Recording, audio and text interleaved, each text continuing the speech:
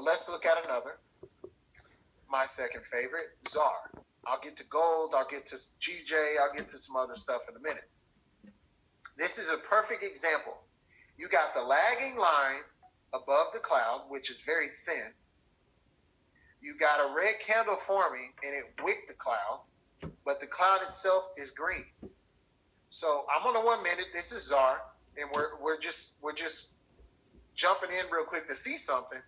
It's crazy how much it's working against the cloud right now, but that's because it could be a pullback. Let's see.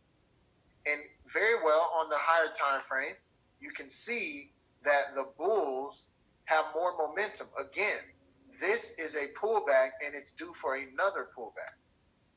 If you can understand pullbacks and all of those type of formations, you can trade at any direction at any pair. They all do the same thing. They're going to pull back. They're going to move. They're going to trick you out. They're going to fake you out. All that stuff. The cloud's about to twist as it's gaining some momentum here.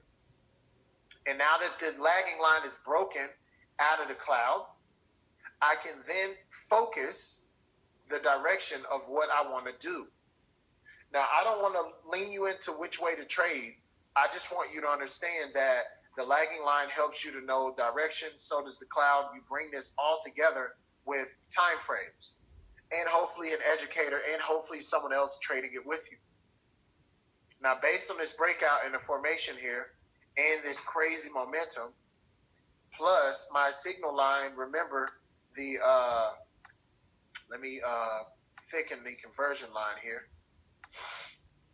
The conversion line is also a signal when a candle opening closes below to get in. And once you see cloud multiple time frames, or at least you notice on the higher time frame, oh, okay, I'm getting in a pullback. Okay, no worries. And you see the lagging line break through. Now you have confirmation on top of confirmation. See, most of you don't have enough confirmation. You just take trades. And then you make money, you lose money, you make money, you lose money, and you're in this perpetual state of I need money. And you trade this way, and your emotions throw you out of the game. When I said leave it on the field earlier, that don't mean do ignorant things, right? That doesn't mean to force and rush anything. I prefer this lagging line to break even past the market. The cloud is one thing, but get it past the market too, because this is a floor.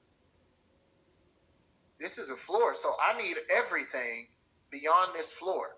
Some of you would have been, oh, I'm going to get in that right now. Yeah, well, this area is a floor. The next floor is here, which potentially it could get to. However, I needed to break that floor before I enter anything.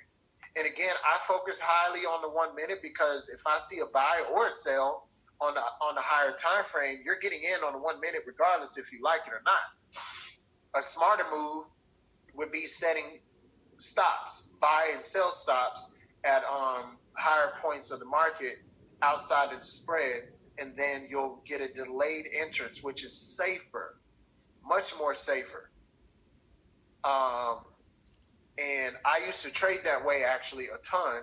And that's how in the beginning I got going. And then I started to be impatient. And that's what made me, uh, or led me, I should say, didn't make me, led me to trade on the one minute. So, FYI, don't feel like, you know, you're having to trade like me. You can do exactly whatever in the world that works for you. And I would encourage you to take your time. Now, I'm going to look at one more pair, and then I want to take whatever pairs that you guys and gals are looking at um, for the most part.